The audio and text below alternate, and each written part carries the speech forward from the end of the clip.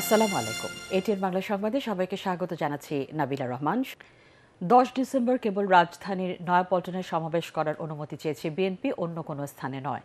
সমাবেশ ব্যবস্থাপনা কমিটির সভা শেষে সংবাদ সম্মেলনে এ কথা বলেন দলের স্থায়ী কমিটির সদস্য মির্জা আব্বাস। তিনি অভিযোগ করেন, ভুল তথ্য দিয়ে সমাবেশ স্থল নিয়ে বিভ্রান্তি তৈরি করছে সরকার। বিএনপি ঢাকায় শান্তিপূর্ণ সমাবেশ করতে চায় উল্লেখ করে মির্জা আব্বাস আরও বলেন, সরকারের মধ্যে ভীতি কাজ করছে বলেই সমাবেশকে সামনে রেখে গণগ্রেপ্তার শুরু করেছে ক্ষমতাসীনরা। মাননীয় প্রধানমন্ত্রী বলেছিলেন যে এই গণতান্ত্রিক আন্দোলনের মধ্যে কোনো রকম বাধা দেওয়ার প্রয়োজন নাই। উনি বলেছিলেন। আজকে আমরা তার বিপরীতটা দেখছি। গণগ্রেফতার বিরোধী দমনের একটা উৎসব চলছে। এই উৎসবটাকেও আমরা আমাদের যে গণসমাবেশ হবে সেই সমাবেশের একটা অংশ হিসেবে আমরা ধরে নিয়েছি। আমরা অ্যাপ্লিকেশন যেখানে আমরা দিচ্ছি, একটা অ্যাপ্লিকেশন দিয়েছি আমরা, সেখানে একটা স্থানের কথাই বলা আছে। এখানে আমরা দ্বিতীয় কোনো স্থান বলি নাই। আগামী তিন ডিসেম্বর বিএনপির গণসমাবেশের দুদিন আগেই রাজশাহী বিভাগের আট জেলায় সকাল থেকে পরিবহন ধর্মঘট শুরু হয়েছে। এতে অভ্যন্তরীণ ও দূরপাল্লার বাস চলাচল বন্ধ থাকায় চরম দুর্ভোগে পড়েছেন যাত্রীরা। তবে পরিবহন মালিক সমিতি বলছে, এই ধর্মঘট বিএনপির সমাবেশের কারণে নয়। মহাসড়কে অবৈধ যান চলাচল বন্ধ সহ দশ দফা দাবিতে সকাল ছয়টা থেকে অনির্দিষ্টকালের ধর্মঘটের ডাক দেওয়া হয়েছে। এদিকে ধর্মঘটের কারণে বন্ধ রয়েছে নাটোর সহ আশেপাশের জেলাগুলোর বাস চলাচল। ভোর ছয়টায় আমার শ্বশুর মারা গেছে। এখন আমাকে যাইতে হবে। কীভাবে যাব? সেই কোনো বিকল্প নাই। আমি তো হঠাৎ করে আসছি। এখন বর্ষা যাওয়ার বাস পাচ্ছি না। এখন কীভাবে যাব এটা আঠারো সড়ক পরিবহন আইন দুই হাজার আঠারো সংশোধন এবং সেই সাথে আরও অন্যান্য বিষয় নসিবন পরিবহন এই সমস্ত অবৈধ যানবাহন হাইকোর্টের নির্দেশ সত্ত্বেও রাস্তায় চলাচল করছে। বিএনপি এখনও দেশের বিরুদ্ধে ষড়যন্ত্র করছে বলে মন্তব্য করেছেন আওয়ামী লীগ সাধারণ সম্পাদক ওবায়দুল কাদের। তিনি বলেন, দশ ডিসেম্বর ঢাকা সমাবেশে তারা বিশৃঙ্খলা করলে কঠোর হতে বাধ্য হবে সরকার। গোপালগঞ্জ জেলা আওয়ামী লীগের ত্রিবার্ষিক সম্মেলনে এসব কথা বলেন তিনি। গোপালগঞ্জ প্রতিনিধি চৌধুরী হাসান মাহমুদকে সাথে নিয়ে রিপোর্ট করছেন সৈয়দ রিয়াজ। দীর্ঘ সাত বছর পর গোপালগঞ্জ পৌর পার্ক মাঠে অনুষ্ঠিত হল জেলা আওয়ামী লীগের ত্রিবার্ষিক সম্মেলন। এ উপলক্ষে জেলার পাঁচ উপজেলার বিভিন্ন ওয়ার্ড ও ইউনিটের নেতাকর্মীদের সাথে মিলিত হন কেন্দ্রীয় নেতারা। সম্মেলনের উদ্বোধনী বক্তৃতায় দলের সাধারণ সম্পাদক ওবায়দুল কাদের বলেন, বিএনপি সমাবেশের নামে রাজপথে কোনো বিশৃঙ্খলা করলে তা আওয়ামী লীগ নেতাকর্মীরা প্রতিহত করবে।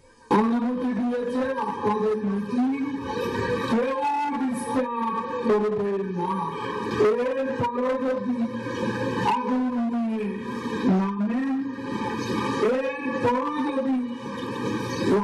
সঙ্গে বাংলাদেশের পতাকা নিয়ে মাঠে নামেন তাহলে ওবায়দুল কাদের আরও বলেন, অপরাজনীতির কারণে জনপ্রিয়তা হারানো বিএনপি নির্বাচনের মাধ্যমে ক্ষমতায় আসতে পারবে না জেনে বর্তমান সরকার ও দেশের বিরুদ্ধে ষড়যন্ত্র করছে।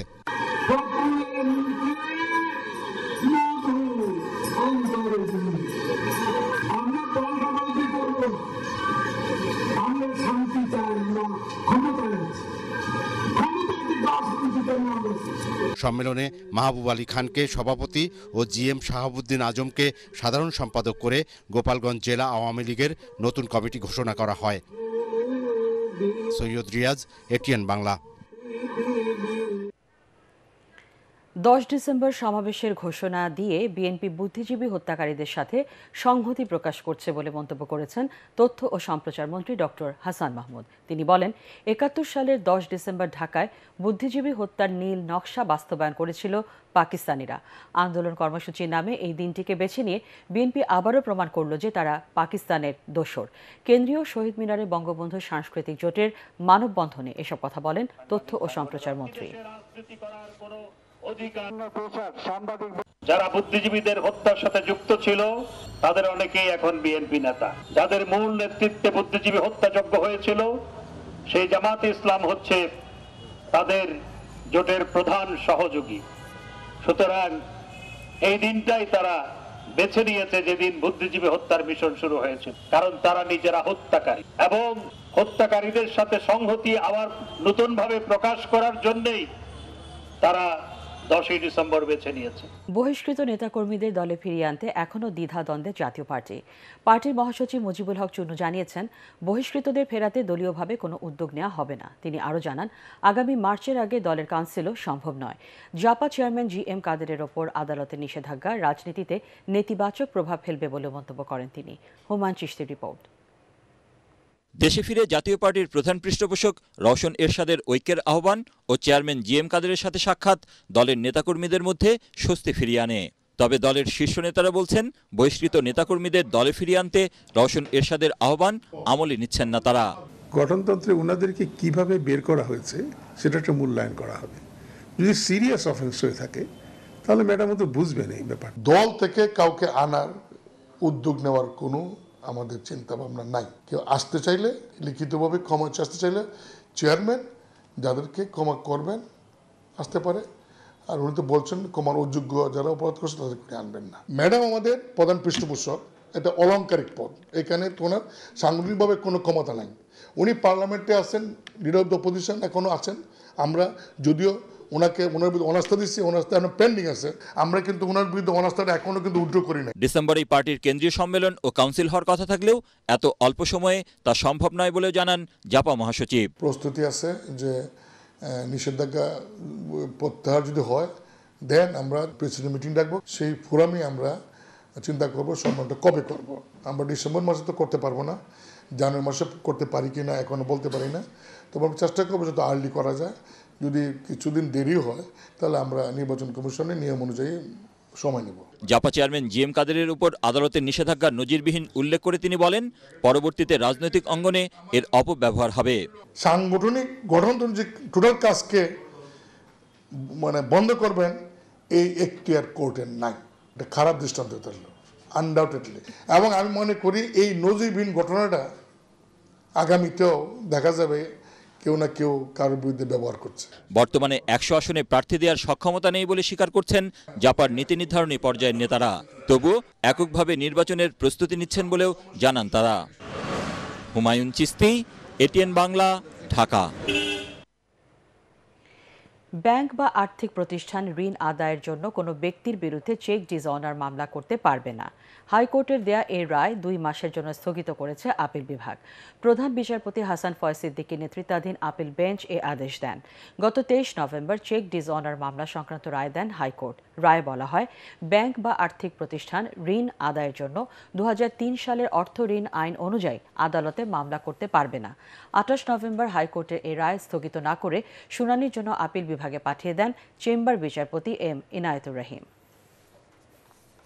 আদালত শুনানি করে, উভয় পক্ষকে শুনানি করে, আজকে এটার কার্যকারিতা স্থগিত করেছেন এবং দুই মাসের জন্য এবং ইতিমধ্যে আমরা রায়ের কপি তুলে আমরা ক্রিমিনাল পিটিশন ফাইল করব।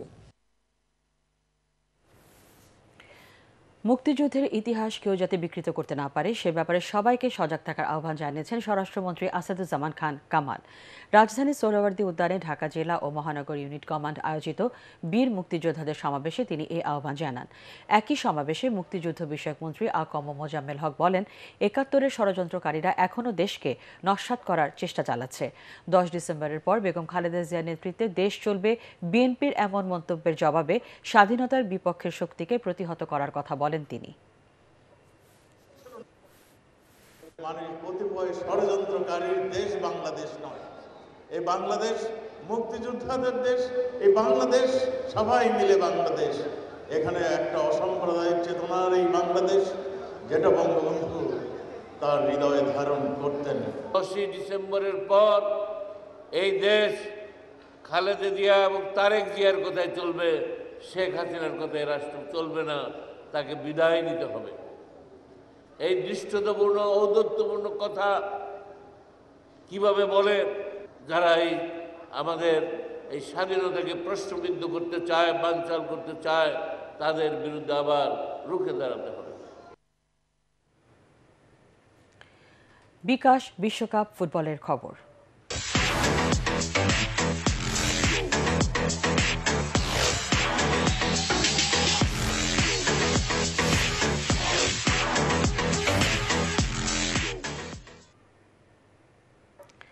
পোল্যান্ডকে দুই শূন্য গোলে হারিয়ে সি গ্রুপের চ্যাম্পিয়ন হয়েই কাতার বিশ্বকাপের নক আউট পর্বে উঠল আর্জেন্টিনা। ছন্দময় ফুটবলে সাতচল্লিশ মিনিটে ম্যাক অ্যালিস্টার ও সাতষট্টি মিনিটে আলভারেজের গোলে জয়ের উল্লাসে মাতে দুইবারের বিশ্ব চ্যাম্পিয়নরা। তবে ম্যাচ হেরেও শেষ ষোলোতে জায়গা করে নেয় পোল্যান্ড। মমিনুর রিপনের রিপোর্ট। গ্রুপ চ্যাম্পিয়ন হতে পোল্যান্ডের চাই এক পয়েন্ট আর ভাগ্য নিজেদের হাতে রাখতে জিততেই হবে আর্জেন্টিনাকে। সমীকরণের হিসেবের প্রভাব পড়ল মাঠের লড়াইয়েও। নিজেদের রক্ষণ সামলাতে প্রতিজ্ঞাবদ্ধ পোল্যান্ড আর খেলার শুরু থেকেই গোলের জন্য মরিয়া দুইবারের বিশ্ব চ্যাম্পিয়নরা। একের পর এক আক্রমণে পোল্যান্ডের রক্ষণভাগ কাঁপিয়ে তুললেন লিওনেল মেসি, ডিমারিয়ারা। কিন্তু পোলিশ গোলরক্ষক স্ট্যাসনি যেন অভেদ্য এক দেয়াল। মুহুর্মু আক্রমণের পরও যে দেয়ালের সামনে মুখ থুবড়ে পড়ল সাতবারের বিশ্বসেরা ফুটবলারের স্পট কিকো। তাই সহজ সুযোগ হাতছাড়া করার হতাশা নিয়েই গোলশূন্য অবস্থায় প্রথমার্ধ শেষ করে আলবি সেলেস্তেরা। তবে দ্বিতীয়ার্ধের শুরুতেই পেনাল্টি মিসের হতাশা কাটিয়ে স্বস্তি ফেরে আর্জেন্টাইন শিবিরে। জাতীয় দলের জার্সিতে ম্যাক অ্যালিস্টারের প্রথম গোলে এগিয়ে যায় স্কালানির দল।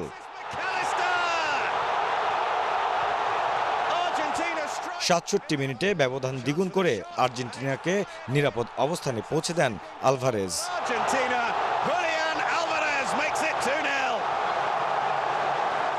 এরপর আরও কয়েকটি সুযোগ পেলেও কাজে লাগাতে পারেনি স্কালনির দল। তবে পোল্যান্ডের বিপক্ষে যে ফুটবল নৈপুণ্য দেখাল আর্জেন্টিনা তাতে ছত্রিশ বছরের দীর্ঘশ্বাস কাটানোর স্বপ্ন দেখছে ভক্ত সমর্থকরা। সৌদি আরবের বিপক্ষে অঘটনের পরাজয়ের পর যে চাপ ছিল তা উড়িয়ে দিয়ে যেন স্বরূপে ফিরেছে ম্যারাডোনার উত্তরসূরিরা। শেষ ষোলোই তাদের প্রতিপক্ষ অস্ট্রেলিয়া, তাই কোয়ার্টার ফাইনালেও এক পা দিয়েই রাখল Argentina. Mominur Ripon, ATN Bangla.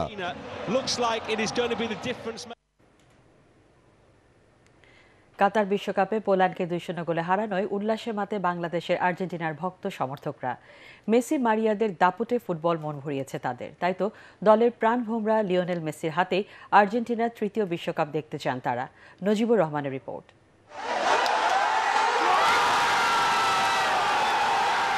পোল্যান্ডকে উড়িয়ে দিয়ে গ্রুপ চ্যাম্পিয়ন হয়ে নকআউট পর্বে উঠায় উল্লাসে মেতে ওঠেন দেশের আর্জেন্টাইন সমর্থকরা।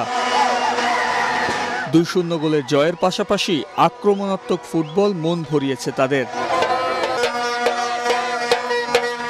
তাই তো দূর দূরান্ত থেকে বড় পর্দায় খেলা দেখতে আসাটা সার্থক বলে মনে করছেন সবাই।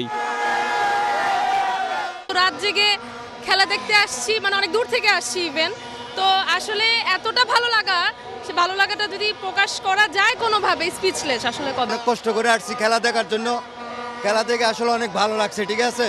অনেক happy Argentina I love you Messi I love you প্রথম ম্যাচে সৌদি আরবের কাছে হেরে বিশ্বকাপ মিশন শুরু করলেও গ্রুপের শীর্ষ দল হয়েই শেষ ষোলোতে মেসি ডিমারিয়ারা সেখানে তাদের প্রতিপক্ষ অস্ট্রেলিয়া। তাই তো মেসির হাত ধরেই বিশ্বকাপ জয় স্বপ্ন বুনছেন ভক্তরা। আশা করি যে আজকের এই যেরকম খেলছে এরকম খেললে তাহলে ফাইনালে ইনশাল্লাহ আমরা জয়ী হব। ভালো খেলাইছে বিশ্বের ইতিহাসে এই প্রথম দেখলাম। এরা বলই পাই নাই আর্জেন্টিনার এত বল। উইন হয়ে গেছে। নেক্সটে দেখা যাক কি হয়। আমি দোয়া করি আর্জেন্টিনা ফাইনালে যাক প্লাস ব্রাজিলও ফাইনালে যাক। চার ডিসেম্বর কোয়ার্টার ফাইনালে ওঠার লড়াইয়ে অস্ট্রেলিয়ার মুখোমুখি হবে আর্জেন্টিনা। সেই ম্যাচেও উল্লাসে মাতার অপেক্ষায় এদেশের কোটি সমর্থক। নজিবুর রহমান এটিএন বাংলা ঢাকা। দেশে প্রায় সাড়ে চার হাজার এইডস রোগী চিকিৎসার বাইরে রয়েছে বলে জানিয়েছেন স্বাস্থ্যমন্ত্রী জাহিদ মালেক। তিনি জানান কেবল অসচেতনতার কারণে এই রোগীর সংখ্যা দিন দিন বাড়ছে। দেশে এখনও পর্যন্ত নয় হাজার সাতশো আট জন এইডস রোগী শনাক্ত হয়েছে। তবে মোট এইডস রোগীর সংখ্যা চোদ্দ হাজারেরও বেশি বলে ধারণা করা হচ্ছে। বিশ্ব এইডস দিবস উপলক্ষে ওসমানী স্মৃতি মিলনায়তনে স্বাস্থ্য অধিদপ্তর আয়োজিত আলোচনা সভায় মন্ত্রী এসব কথা বলেন। তিনি বলেন, দেশের এগারোটি সরকারি হাসপাতালে এইডস রোগীদের বিনামূল্যে চিকিৎসা দিচ্ছে সরকার। এ সময় দ্রুত এইচআইভি পরীক্ষা কার্যক্রম সম্প্রসারণের ঘোষণাও দেন স্বাস্থ্যমন্ত্রী। এক বছরে মরণ ব্যাধি এ রোগে আক্রান্ত হয়ে মারা গেছেন দুইশো বত্রিশ জন। মিডল ইস্টে যারা চাকরি করেন এবং ওই সমস্ত এরিয়াতে যারা চাকরি করেন, আফ্রিকাতে যারা চাকরি করেন, সেখান থেকে আসা ব্যক্তিদের সংখ্যা এইডসে বেশি এবং তাদের পরিবারের সদস্যরাও এইডসে আক্রান্ত হয়ে থাকে বেশি। যাওয়ার সময় যদি টেস্টের প্রয়োজন হয়, তাহলে অবশ্যই আসার সময়ও আমি মনে করি টেস্ট করা প্রয়োজন। এবং এইচআইভি পরীক্ষাটা প্রয়োজন। তার নিজের জন্যে, তার পরিবারের সুরক্ষার জন্যে এই টেস্ট করাটা খুবই প্রয়োজন। খুলনা চার আসনের সংসদ সদস্য ও বাফুফের সিনিয়র সহ সভাপতি আব্দুল সালাম মুর্শিদির গুলশানের বাড়ি সংক্রান্ত মূল নথি ও প্রতিবেদন জমা দেওয়ার নির্দেশ দিয়েছে হাইকোর্ট। আগামী পনেরো দিনের মধ্যে গৃহায়ন ও গণপূর্ত মন্ত্রণালয় ও রাজুককে এ নির্দেশ বাস্তবায়ন করতে বলা হয়েছে। বিচারপতি নজরুল ইসলাম তালুকদার ও বিচারপতি খিজির হায়াতের দ্বৈত বেঞ্চ এ আদেশ দেন। একই সাথে পরবর্তী শুনানির জন্য ষোলো জানুয়ারি দিন ঠিক করেছেন আদালত। গত তেরো নভেম্বর সালাম মুর্শিদির গুলশানের বাড়ি সম্পর্কিত কাগজপত্র হাইকোর্টে জমা দেন তার RGB. কোর্ট আজকে অ্যাগ্রিভড যে কেন সঠিক তথ্যটি তুলে ধরা হয় না এবং কোর্টের একটি ট্রায়াল চলাকালীন কেন এমন জিনিস পাবলিশ করা হবে যেটা আসলে কোর্ট অ্যাগ্রিভড হবে? যে রিপোর্টটি নিজেই কমপ্লিট নয় সাবমিটেড অ্যান্ড অ্যাপ্রুভড না, সেই রিপোর্ট নিয়ে কোনো মন্তব্য করা আসলেই মহামান্য আদালতকে ছোট করা হয়। বোথ রেসপন্ডেন্ট অ্যান্ড পিটিশনার দুজনকেই তাগাদা দিয়েছেন যে এই কেস রিলেটেড এটার মেরিট রিলেটেড এটা সাবজুডিস ম্যাটার যেহেতু এই রিলেটেড কোনো ইস্যু মিডিয়াকে ততটুকুই বলা, যতটুকু আসলে হিয়ারিংয়ে হয়েছে। দেশে অর্থনৈতিক কোনো সংকট নেই। সবকিছুই পর্যাপ্ত রয়েছে বলে জানিয়েছেন পরিকল্পনা মন্ত্রী এম এ মান্নান। তিনি বলেন, ইউক্রেন রাশিয়া যুদ্ধের কারণে দ্রব্যমূল্যের দাম বাড়লেও তা স্বাভাবিক হয়ে আসছে। বিজয় দিবসকে সামনে রেখে রাজধানীর আন্তর্জাতিক মাতৃভাষা ইনস্টিটিউটে আয়োজিত সংবর্ধনা ও স্মৃতিচারণ অনুষ্ঠানে এসব কথা বলেন পরিকল্পনা মন্ত্রী। অনুষ্ঠানে মুক্তিযোদ্ধা সন্তান হিসেবে ডিসি রমনা, মোহাম্মদ শহীদুল্লাহর হাতে সংবর্ধনা স্মারক তুলে দেন মন্ত্রী। আমরা কোনো সংকটে নই অর্থনৈতিকভাবে। আমরা কোনো বড় সমস্যায় নই এবং যেটুকু ওটা আমরা একা নই। এই যে আমাদের প্রতিবেশী ভারতের একজন যিনি আছেন তিনি সাক্ষী দিবেন। তার ওখানেও যে সকল দোলাচল টানা পড়ে আছে, আমাদের এখানে তাই আছে। আরও সারা বিশ্বে বড় বড় রাষ্ট্র যেগুলো, ওদেরও এই যে মূল্যস্ফীতির একটা বিষয়, দাম বেড়ে যাওয়ার একটা বিষয় ওখানেও আছে। দৃশ্যমান উন্নয়ন হলেও এর মান, স্থায়িত্ব ও সেবা নিয়ে সংশয় রয়েছে বলে মনে করে এসডিজি বাস্তবায়নের নাগরিক প্ল্যাটফর্ম। প্রত্যন্ত অঞ্চলে সড়ক ও অবকাঠামো নির্মাণ হলেও এর উপকার সবাই পান না বলে মনে করেন সংগঠনটি। জাতীয় উন্নয়ন আখ্যান নিয়ে নাগরিক প্ল্যাটফর্মের আহ্বায়ক দেবপ্রিয় ভট্টাচার্য মিডিয়া ব্রিফিংয়ে জানান, স্বাস্থ্য ও শিক্ষায় আওতা বাড়লেও এর গুণগত মান নিয়ে অভিযোগ রয়েছে। এসব কারণে রাষ্ট্রীয় প্রতিষ্ঠানগুলো দুর্বল হয়ে যাচ্ছে। সেখানে স্বচ্ছতা ও জবাবদিহিতা জোরদারের তাগিদ দিয়েছেন অর্থনীতিবিদরা। স্থানীয় পর্যায়ে দ্বিতীয় প্রজন্মের চ্যালেঞ্জ মোকাবেলায় কর্মমুখী শিল্প প্রতিষ্ঠান চালুর পরামর্শ দেন তারা। সরকার যেই পরিমাণে ব্যয় করে, সেই ব্যয়ের পরিপূরক বা যেটুকু হওয়ার কথা, সেই ধরনের সেবা মানুষ পাচ্ছে না। কোনো গণতান্ত্রিক পরিবেশে যদি জবাবদিহিতা থাকে, সামগ্রিক ভীতির পরিবেশ যদি না থাকে, তাহলে এই কথাগুলো আপনি লিখতে পারেন। তথ্যের অভাব আমাদেরকে পীড়িত করছে। আমি মনে করি এটার ফলে সরকারকে আরও অনেক বেশি কিন্তু আক্রান্ত করছে বলে, তাদের প্রতিবন্ধকতা হচ্ছে বলে আমি মনে করি। আল আরাফা ইসলামী ব্যাংক অর্থ সংবাদ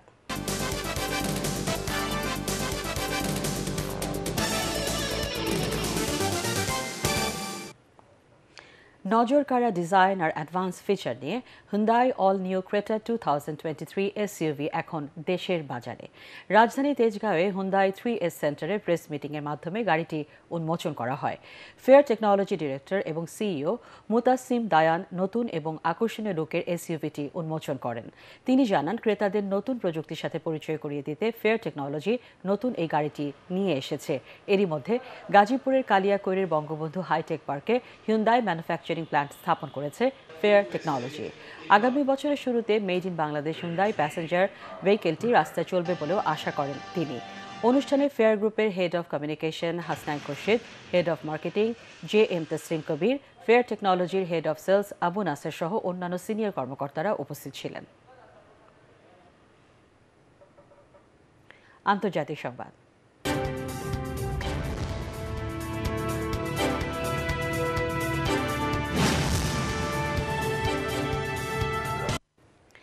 বড়দিন উদযাপনের প্রস্তুতি শুরু করেছে খ্রিস্টান ধর্মাবলম্বীরা এই উপলক্ষে যুক্তরাষ্ট্রের ওয়াশিংটন ও নিউ ইয়র্কে ছিল জমকালো আয়োজন ক্রিসমাস ট্রিতে আলো জ্বালিয়ে উৎসবের মাস ডিসেম্বরকে বরণ করে নেন যুক্তরাষ্ট্রের মানুষ আরও জানাচ্ছেন Roksana Eva National Christmas tree. Everybody ready? Let's count this down together. Five, four, three, two, one. Here we go. Okay. নভেম্বরের শেষ শুভ মাস, ডিসেম্বরের আগমন। হোয়াইট হাউসের সামনে ক্রিসমাস ট্রিতে আলো জ্বালানোর শতবর্ষের ঐতিহ্যকে এভাবেই পালন করলেন প্রেসিডেন্ট জো বাইডেন। উনিশশো তেইশ সালের এমনই একদিনে ফাঁকা মাঠে এই উদযাপন শুরু করেছিলেন প্রেসিডেন্ট কেলভিন কোলিস। শত বছর পরের এই আয়োজনে তফাত আকাশ পাতাল। এ সময় জাতি ধর্মবর্ণ সবাইকে নিয়ে সমৃদ্ধির পথে একসাথে এগিয়ে যাওয়ার আহ্বান জানান president Biden. We, the people, the very idea of America. And during this holiday season, reflect on our blessings that despite our differences, there are far more things that unite us as one America. এর আগে ত্রিশ foot দৈর্ঘ্যের সাদা pine গাছটি white হাউসে আনা হয় সাজানো হয় কয়েক হাজার লেড লাইট আর বর্ণিল উপকরণে হোয়াইট হাউসের এই প্রেসিডেন্ট চত্বরটি দুই ডিসেম্বর থেকে এক মাস উন্মুক্ত থাকবে সর্বসাধারণের জন্য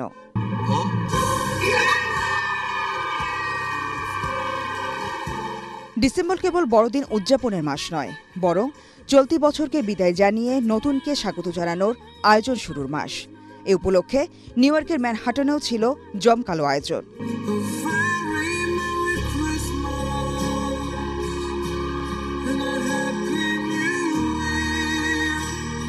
সুবিশাল ক্রিসমাস ট্রিকে রঙিন আলোয় আলোকিত করে যেন অশুভকে চোখ রাঙান উৎসব মুখর খ্রিস্টান ধর্মাবলম্বীরা।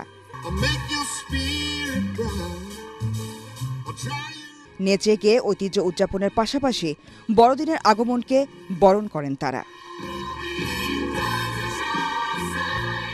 রোকসানা ইভা এটিএন বাংলা। পাঁচ দফা দাবিতে নেত্রকোনায় মানববন্ধন এবং জেলা কাস্টমস ভ্যাট ও এক্সাইজ কার্যালয় স্মারকলিপি দিয়েছে বিড়ি শ্রমিক ফেডারেশন। সকালে জেলা কাস্টমস ভ্যাট ও এক্সাইজ কার্যালয়ের সামনে মানববন্ধনটি অনুষ্ঠিত হয়। পরে জেলা কাস্টমস কর্মকর্তা বরাবর স্মারকলিপি দেওয়া হয়। মানববন্ধন চলাকালে সংগঠনটির কেন্দ্রীয় সভাপতি এম কে বাঙালি, সাধারণ সম্পাদক আব্দুর রহমান, যুগ্ম সাধারণ সম্পাদক হারিক হোসেন ও নেত্রকোনার জেলা কমিটির সভাপতি আবুল কাশিম সহ অন্যান্যরা বক্তব্য রাখেন। দাবি পূরণ না হলে লাগাতার আন্দোলন ও ঘেরাও কর্মসূচির হুঁশিয়ারি দেন তারা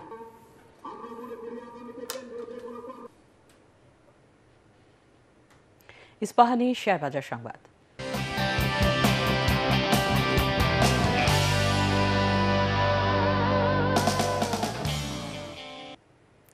সপ্তাহের শেষ কার্যদিবসে ঢাকা স্টক এক্সচেঞ্জে লেনদেন ও সূচক দুটোই বেড়েছে। প্রধান মূল্য সূচক জিএসিএক্স নয় পয়েন্ট বেড়ে ছয় হাজার দুইশো পঁয়তাল্লিশ পয়েন্টে দাঁড়িয়েছে। এছাড়া থার্টি সূচক বেড়েছে এক পয়েন্ট। দিন শেষে লেনদেন হয় চারশো চুরাশি কোটি পঁচাত্তর লাখ টাকা শেয়ার ও মিউচুয়াল ফান্ডের ইউনিট। লেনদেন হওয়া তিনশো আঠারোটি প্রতিষ্ঠানের মধ্যে দাম বেড়েছে একষট্টিটির, কমেছে তেইশটির ও অপরিবর্তিত রয়েছে দুইশো চৌত্রিশটি কোম্পানির শেয়ারের দাম। এদিকে চট্টগ্রাম স্টক এক্সচেঞ্জে লেনদেন হয়েছে সাত কোটি দুই লাখ টাকার শেয়ার। হাত বদল হওয়া একশো একষট্টিটি কোম্পানির মধ্যে দর বেড়েছে, চৌত্রিশটি কমেছে তেরোটির ও অপরিবর্তিত রয়েছে, একশো চোদ্দটি কোম্পানির শেয়ারের দর। পার্টেক্স খেলার খবর।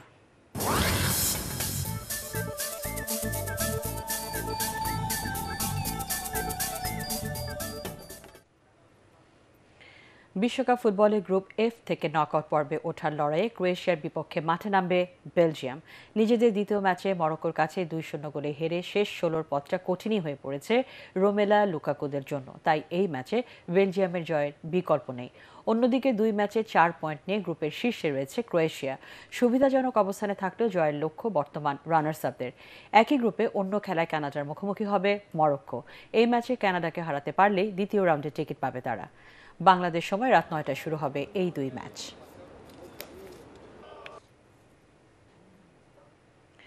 গ্রুপ ই থেকে বিশ্বকাপের নকআউট পর্বে ওঠার লক্ষ্যে মুখোমুখি হবে স্পেন, জাপান ও কোস্টারিকা, জার্মানি।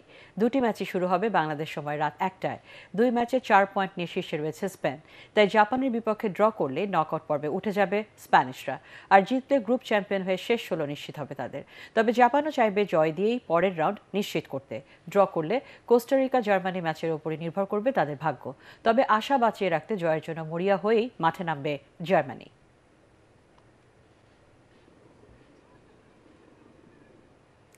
ইনজুরির কারণে ভারতের বিপক্ষে ওয়ানডে সিরিজ খেলা হচ্ছে না নিয়মিত অধিনায়ক তামিম ইকবালের।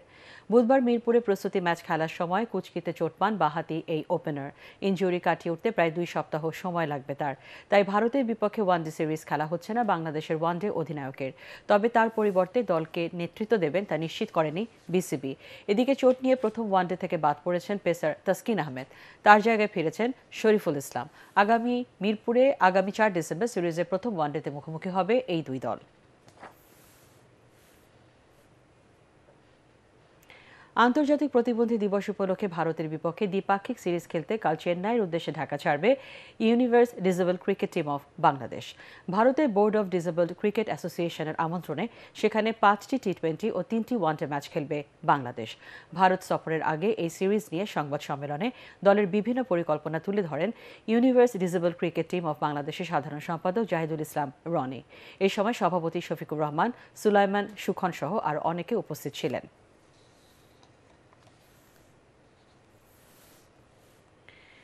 টিএসআই লিমিটেডের পরিচালনায় কেন্ডা টায়ার কাপ গলফ টুর্নামেন্টে দ্বিতীয় দিনের খেলা শেষ হয়েছে। দ্বিতীয় দিনের খেলায় অংশ নেন দুইশো আশি জন অ্যামেচার গলফার। এর আগে কুর্মিটোরা গলফ ক্লাবে প্রথম দিনের খেলায় অংশ নিয়েছিল একশো চৌত্রিশ জন। সব মিলিয়ে তিন দিনের এই প্রতিযোগিতায় অংশ নিচ্ছেন প্রায় ছয়শো গলফার। শুক্রবার সকালে প্রতিযোগিতার আনুষ্ঠানিক উদ্বোধন করা হবে। একই দিনে সন্ধ্যায় সমাপনী ও পুরস্কার বিতরণী অনুষ্ঠানের আয়োজন করা হয়েছে।